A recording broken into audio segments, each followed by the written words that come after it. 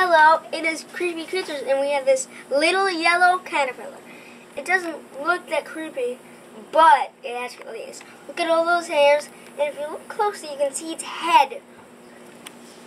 And the head is right now, it's yellow. You can see, now, I'll just get it, got it? Got it, guys, and you'll see that the head is, is right there, see? Look at the head. See it wiggling around and it turns into a ball and it's afraid. But look at all those yellow hairs and the yellow skin. Creepy.